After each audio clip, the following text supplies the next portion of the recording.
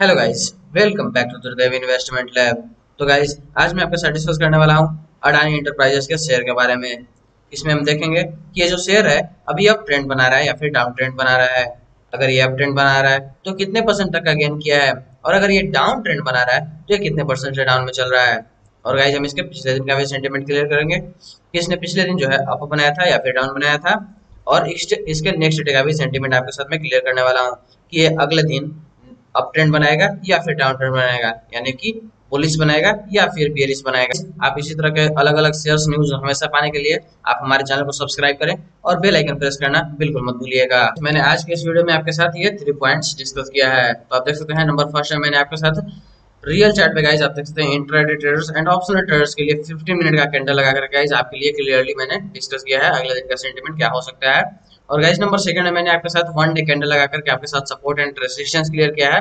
वो भी swing trades and optional traders है तो आपको ज़्यादा बेटर हो सकती है गाइस आप ये पॉइंट्स ज़रूर व्यू करें।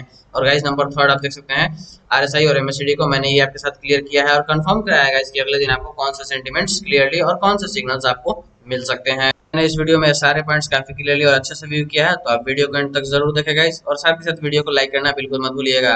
और गाइज़ अगर आपको कहीं भी किसी प्रकार की कोई प्रॉब्लम होती है सारे पॉइंट्स में तो आप कमेंट करना तो गाइज़ ज़रूर मत भूलिएगा। बिल्कुल मत भूलिएगा गाइज़ आप कमेंट ज़रूर करें।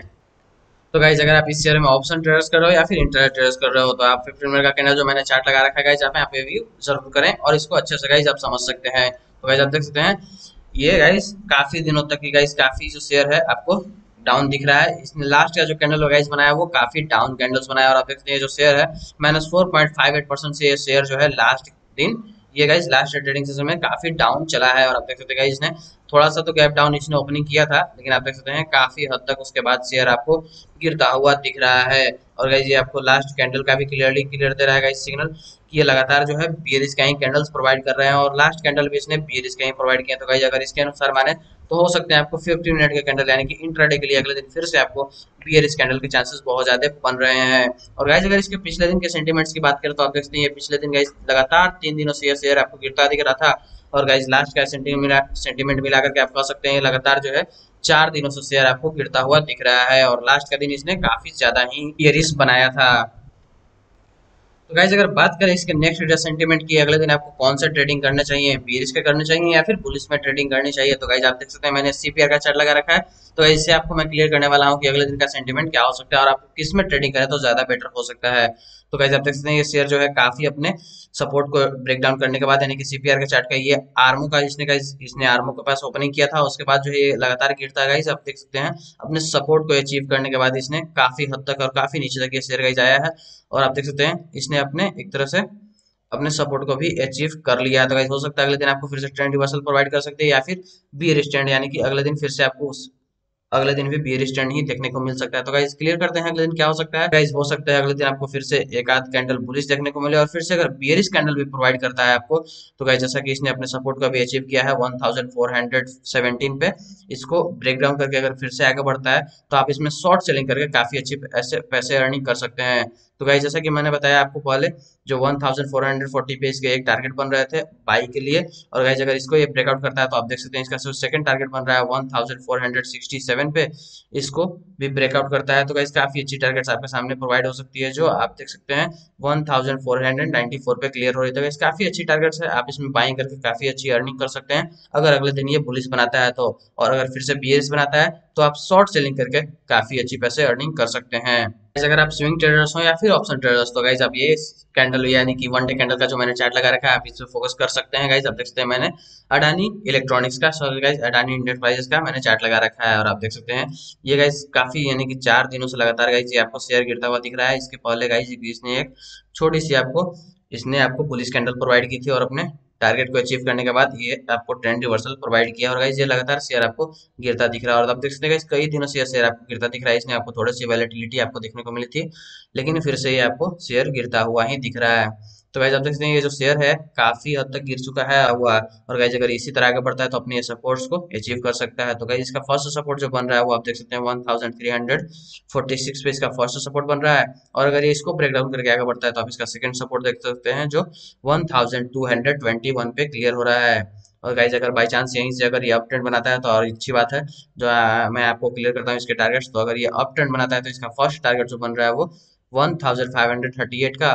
और गाइज़ अगर ये इसको ब्रेकआउट करते हुए आगे बढ़ता है तो इसका सेकंड टारगेट जो बन रहा है, वो 1716 का क्लियर हो रहा है। तो गाइज़ अगर बात करें कि ये शेयर इतना लगातार ये क्यों गिर रहा है तो आप देख सकते हैं, इसने अपने 52 वीक हाई को गाइज़ इसने कुछ दिन पहले, यानी कि आप देख सकते हैं कह सकते हैं गाइज़ सेवन जून को इसने जो है अपने 52 वीक हाई को अचीव किया, जो इसका हाई हाई प्राइस है guys one thousand seven hundred seventeen point two zero का इसका हाइंग प्राइस है। जो कि इसने सेवन जून को अचीव किया और लगातार उसके बाद शेयर आप गिरता हुआ दिख रहे हैं। और गाइज़ अगर बात करें इसके हाई प्राइस की तो आप देख सकते हैं अभी तक का गाइज़ सबसे हाई प्राइस भी आप इसको बोल सकते हैं। देख सकते हैं गाइज़ क्लियरली मैं आपको क्लियर करता हूँ 2020 के बाद गाइज़ ये लगातार जो है, यानी कि लगातार जो है इसका अभी तक का हाइंग प्राइस इसने अचीव किया और उसके बाद शेयर आपको गिरता हुआ दिख रहा है। और हो सकता है गाइज़ आप कुछ समय और तक ये शेयर आपको सेल के ही सिग्नल थे, यानी कि सेल गिरता हुआ ही सिग्नल आपको ये प्रोवाइड करे। तो गाइज़ आप इसमें शॉर्ट सेलिंग करके काफ़ी अच्छे पैसे अर्निंग कर सकते हैं। अगर बात की जाए आरएसआई की तो देखिए मैंने आरएसआई लगा रखा और ये मैंने आरएसआई का ग्राफ लगाया हुआ है। गाइज़ आप देख सकते हैं आरएसआई जो है, इसने आपको सेल का सिग्नल एक टाइम गाइज़ आप देख सकते हैं, इसने सेल का सेल सिग्नल आपको सेवन जून को ही प्रोवाइड किया था, जिसने आपको इसने 52 वीक हाई भी अचीव किया था उसी दिन। और उसके बाद जो गाइस शेयर आप देख सकते हैं, काफ़ी हद तक नीचे गिरा है। इसने आपको थोड़े समय के लिए वॉलेटिलिटी यानी कि बुलिश सिग्नल आपको थोड़े समय के लिए देखने को मिले थे और इसने बाई का सिग्नल जो है 18 जून को प्रोवाइड किया था। लेकिन गाइज़ फिर से आपको सेल का सिग्नल एक जुलाई को प्रोवाइड किया है और गाइज़ रेगुलरली अभी जो है आरएसआई आपको सेल का सिग्नल ही प्रोवाइड कर रहा है। तो गाइज़ अगर आरएसआई के माने और आरएसआई के अनुसार चले तो हो सकता है गाइज़ आरएसआई अभी आपको क्लियरली सेल का सिग्नल प्रोवाइड कर रहा है। इसकी चलते अगर हो सकते हैं आपको अगले दिन फिर से अभी बियर स्कैंडल देखने को मिल सकते हैं। क्योंकि गाइज़ आरएसआई जो है अभी आपको क्लियरली सेल का सिग्नल प्रोवाइड कर रहा है। तो गाइज़ बात करें एमएससीडी के इंडिकेटर के तो देखिए मैंने एमएससीडी का जो गाइज़ इंडिकेटर आपके सामने क्लियरली लगा रखा है और आप देख सकते हैं एमएससीडी जो आपको बाई का सिग्नल एक जून को इसने प्रोवाइड किया था और रेगुलरली बाई के सिग्नल्स के बाद इसने आपको सेल का सिग्नल जो है फोर्टीन ऑफ़ जून को इसने आपको सेल का सिग्नल प्रोवाइड किया। और गाइज़ आप देख सकते हैं रेगुलरली वन डे कैंडल के साथ जो एमएससीडी है, आपको सेल का सिग्नल अभी तक क्लियरली प्रोवाइड कर रहा है गाइज़ इसने आपको फोर्टीन ऑफ़ जून के बाद क्लियरली अभी तक आपको सेल का सिग्नल ही प्रोवाइड कर रहा है। तो गाइज़ आपको पता है कि एमएसडी वन डे कैंडल के साथ लेट सिग्नल प्रोवाइड करता है, इसलिए हम इसे फोर आवर में कन्वर्ट करके क्लियरली चेक करते हैं। तो देखिए गाइज़ मैंने इसे फोर आवर में कन्वर्ट किया और आप देख सकते हैं एमएससीडी जो है गाइज़ क्लियरली आपको ये कई दिनों से कॉन्सिलेटेड कर रहा था, लेकिन आपको देख सकते हैं फोर आवर में इसने थर्टीन ऑफ़ जून को इसने क्लियर आपको सेल का सिग्नल प्रोवाइड कर दिया है। और गाइज़ ये क्लियरली अभी तक आपको ये सेल का सिग्नल क्लियर कर रहा है। तो गाइज़ अगर एमएससीडी के अनुसार माने तो आप देख सकते हैं एमएससीडी आपको क्लियरली अभी अभी इसने सेल का सिग्नल प्रोवाइड किया। तो गाइज़ हो सकता है आपको कभी भी अभी कुछ समय तक आपको फिर से सेल का सिग्नल ही प्रोवाइड कर सकता है। तो गाइज़ अभी देख सकते हैं इसने आपको एक डोजी कैंडल दो दो डोजी कैंडल के साथ इसने आपको एक ट्रेंड रिवर्सल भी प्रोवाइड किया है, जिसके अनुसार हो सकते हैं आपको क्लियरली काफ़ी समय तक हो सकते हैं आपको फिर से बियर स्कैंडल देखने के चांसेस मिल सकते हैं। तो वैसे अगर एमएससीटी के माने तो हो सकते हैं आपको फिर से बियर स्कैंडल देखने को मिल सकता है नेक्स्ट डे तो इस वीडियो में बनाने के लिए थैंक्स गाइज़ इस वीडियो को लाइक करें और अगर कहीं आपको किसी प्रकार की कोई प्रॉब्लम होती है तो आप कमेंट ज़रूर करें। और गाइज़ अगर इसी तरह के वीडियोस हमेशा चाहते हैं आप तो आप हमारे चैनल को सब्सक्राइब करके बेल आइकन प्रेस करना बिल्कुल मत भूलिएगा, क्योंकि गाइज़ हमारे जो लगातार अपडेट्स आते रहते हैं, जो नए नए वीडियोस में आपके लिए लेकर आता रहता हूँ, वो आपको मिलते रहेंगे।